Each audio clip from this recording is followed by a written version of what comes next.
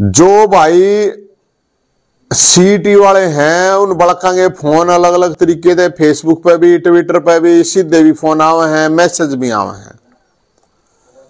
अग भाई, जो सीटी के बालक हैं रिज़ल्ट भी नहीं आया, लेकिन वे बालक दुखी हो रहे हैं, सरकार की पॉलिसी थे अरे सुन लियो खट्टर साहब, मुख्यमंत्री जी।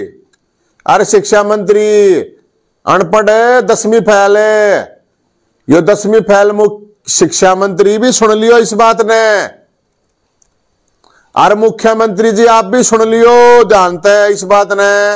ये जो सीटी हम पिछले एक साल तक इस बात पर रोला मचा रहे थे प्रोटेस्ट कर रहे थे, आवाज़ उठा रहे थे, अब यो सीटी होना चाहिए।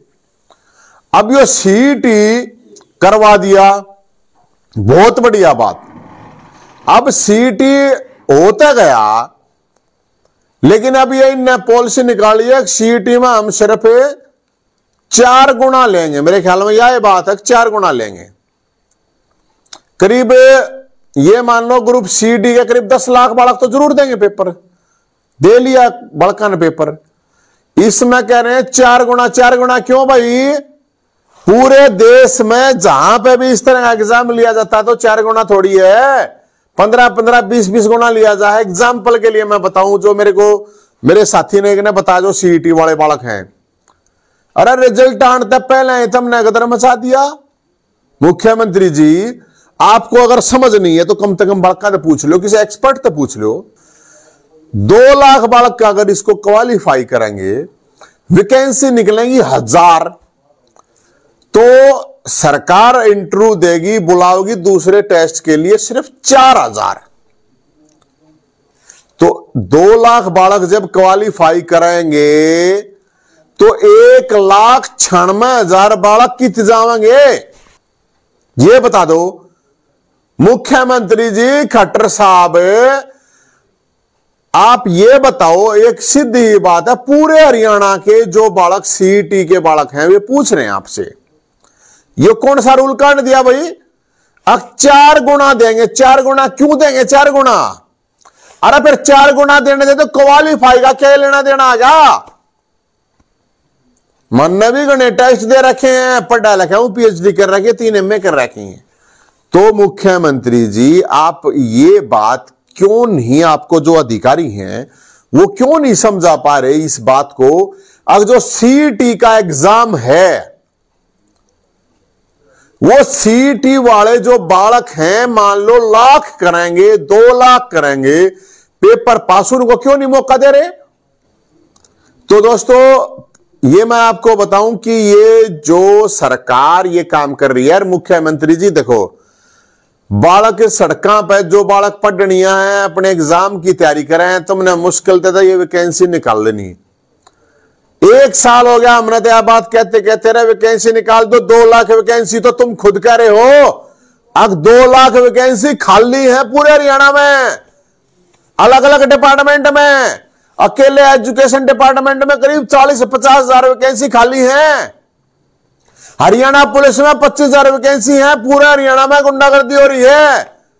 वो हरियाणा पुलिस वाले वे बेचारा एक सिपाही पाँच आदमी काम करना लग रहा है, उन्हें भर्ती क्यों ना करते? अरे पूरे हरियाणा में अलग अलग डिपार्टमेंट के अंदर करीब दो लाख वैकेंसी खाली है। ये तो सरकार की रिपोर्ट है। तो उन्हें भर्ती क्यों ना करते? सारा ने क्या क्या ही बात देखा है? 2000 चुनाव की बात 2024 के चुनाव की बात देखोगे तो बेरोजगारी नुकया सब भारी सब भारी चीज़ अगर है तो वह बेरोजगारी है। तो सिर्फ़ सीटी क्वालिफाई नेचर में क्या प्रॉब्लम है, ये बताओ मैंने और जब दो लाख वैकेंसी खाली है खट्टर साहब, क्या समस्या? आपको ये तो बताओ। अरे, हमने ना पूछो, किसी एक्सपर्ट तो पूछ लो, पढ़ा लिखा कोई तो हुआ सरकार में। दसवीं फैल बना रखा है शिक्षा मंत्री। जो और रह गए कोई लेक्चरर के लिए, कोई अलग अलग वैकेंसियों के लिए, कोई पीएचडी वाला अलग अलग डिपार्टमेंट में बीस लाख वाला बेरोजगार हैं। मुख्यमंत्री जी कहते थे, ना ना ना ना, झूठ बोल रहे हैं। पूरे देश में टॉप पे है हरियाणा में, बेरोजगारी में। ये बताओ, मुख्यमंत्री जी से पूछे हम तय। अक मुख्यमंत्री जी, आप ये बता दो, जब जितनी वैकेंसी एक बार न्यूता बता दे। अगर हरियाणा में इतनी वैकेंसी खाली है ताकि लोग अपना काम धंधा शुरू कर देंगे। ना तो न्यू बताते या सरकार ना, या तो इतना तो बता दे कम से कम। भाई, इतनी तो बता सके है।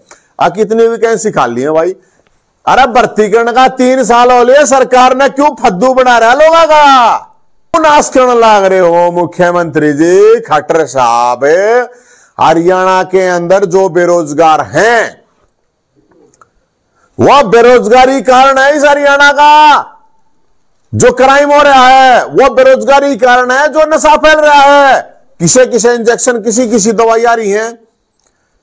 जवान जवान बालक वे ऐसे ऐसे नशे करके मरने लाग रहे हैं।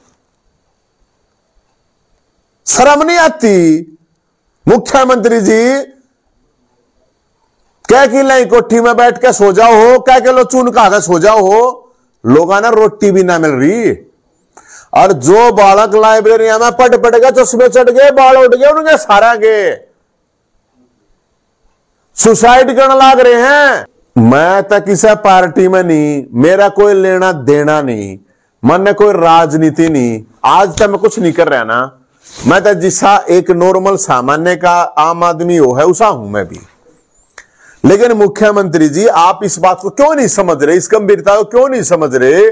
हरियाणा के अंदर जो बेरोजगार है, जो बेरोजगारी का एक इशू है, बेरोजगारी के इशू के साथ नशा जुड़ा हुआ है, उसके साथ क्राइम जुड़ा हुआ है। दो तीन साल में मुश्किल से दो तीन साल के अंदर मुश्किल से इस बात यो सीटी होया है, मुश्किल से। अब आप एक बात बताओ, इतनी मतलब मुश्किल से पेपर होया है, पाँच सौ पाँच सौ रुपये बालक लिए होंगे, दस बालक का ना पचास सौ करोड़ तो तुम बैठे खा गए जी गए उसने, दो दो, तीन तीन साल तक। मेरे द्वारा फ़ोन आवा बड़का के न्यू। जो बात है, ध्यान से सुनियो। अग भाई साहब, मार द्वारा तो कोई राय नहीं रहा। मारा तो मरण का काम हो गया। किससे ने मरण की ज़रूरत नहीं है भाई। ये दिमाग तक काटो अब फांसी खा जाए, फांसी खाने का काम हो गया मरण का काम हो गया। ना, मरना नहीं है दोस्तों। अपने घर को देखना, अपने परिवार, अपने माँ, बाप, भाई, बहन, यार, दोस्त, रिश्तेदार है। या मरण की मत सोचियो। मैं आज इसलिए लाइव आया हूँ कि बहुत से फ़ोन मेरे द्वारा इतने डिप्रेशन के आए बड़कांगे इसलिए मैं ये लाइव आया और मैंने इसलिए ये बतानी ज़रूरी है आप लोगों को, मरण की मत सोचियो मेरे भाई। जो भी सरकार करे है, करण दो। लड़ाई लड़ो, सड़क पर उतर के लड़ाई लड़ने की हिम्मत रखो। मरण तो कुछ नहीं होगा। कोई नहीं पूछेगी सरकार, आपके घर परिवार वाले दुखी होंगे। कुरुक्षेत्र एक सुनील शर्मा नाम के बालक ने जिसका लिस्ट में नाम आ रहा था, लेकिन उसके बाद उसका लिस्ट नहीं दिखाई ईपीपीजी की, और उसने सुसाइड कर लिया। उसकी बीवी प्रेग्नेंट। अब सोच के देखो दोस्तों अरे, ये मुख्यमंत्री जी डूब गया, मर जा। अगर थोड़ी बहुत भी शर्म है इस सिस्टम को, इस सरकार को और इस सीएम को कह रहा हूँ मैं ये बात। है तो जिम्मेदार कौन इस मौत का? अरे, जब वो ईपीपीजी दे रखा था जब ऊपर तो ईडब्ल्यू एस हो गया, और यो एजी पे जी उसके पास चक्कर काटते रहे हेल्थ ये अपना जो एजुकेशन डिपार्टमेंट है, उसमें जाकर चक्कर काटते रहे, लेकिन कोई नहीं सुनने वाला और कोई कोई फ़र्क नहीं पड़ता किससे गए। किससे गए कोई फ़र्क नहीं पड़ता। एक इंग्लिश टीजीटी का जो बालक है, वो सुसाइड कर गया। तम भी मर जाइयो वैसे गए। कोई ना फ़र्क पड़ा किससे गए मेरे भाई। सारे ने बताऊँ मैं, जितने भी सीटी वाले हैं, जितने भी क्वालिफाई करने वाले हैं, या तो सड़क पर आ जाइयो, ना थारी ऐसी तैसी करेगी सरकार बताऊँ थर मैं। किससे नेता की मानने की ज़रूरत नहीं है किससे ये सारे में बैठने की ज़रूरत नहीं है? कदे नहीं सोचो आ, कोई नेता होगा कोई नवीन जैंदा होगा फलाना होगा धड़ा किसी की बात देखने की ज़रूरत नहीं है। कोई आवत आओ स्वागत करो नहीं आवत अपने दम पर लड़ाई लड़ो मेरे भाइयों। ना बैठे रही हो तम नहीं हुए। तो भाई ये तो तुमने देखना है।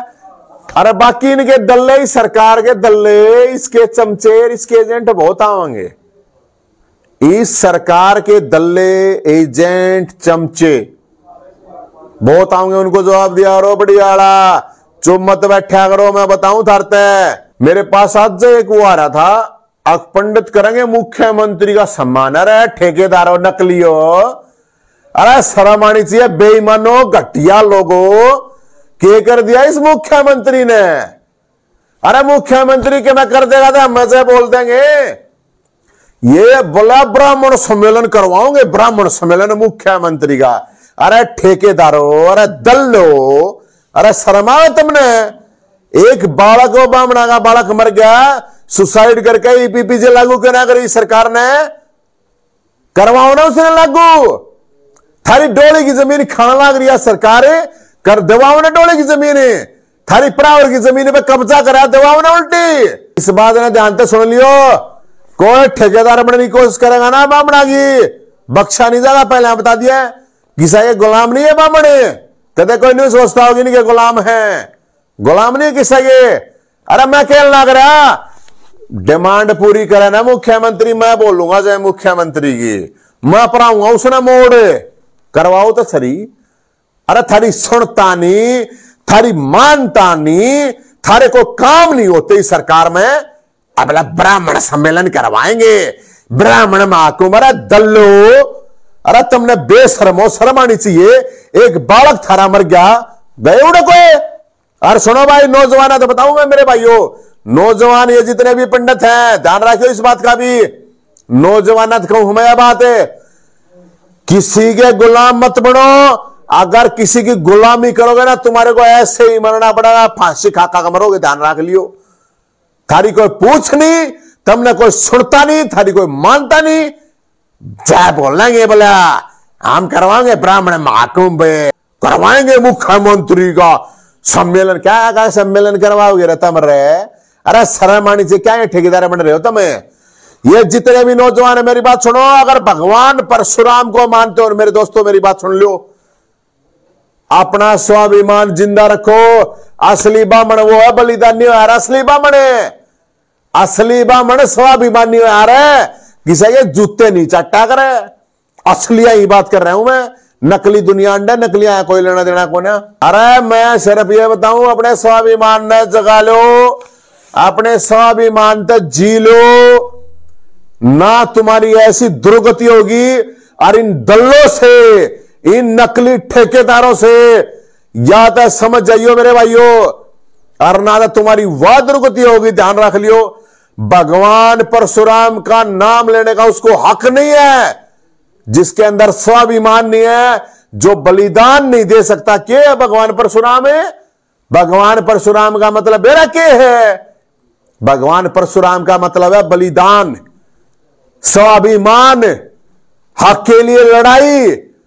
ये है भगवान परशुराम का नाम है। और ये है भगवान परशुराम को मानने वालों का नकलियों की बात नहीं कर रहा हूँ मैं।